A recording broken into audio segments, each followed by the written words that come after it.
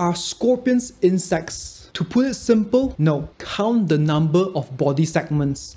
Insects like mosquitoes, cockroaches, and grasshoppers have one, two, and three body segments. These body segments include the abdomen, the thorax, and the head.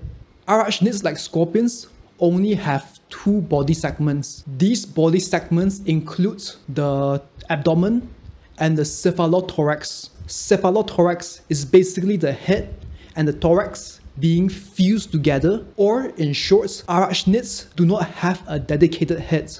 Only insects have a dedicated head.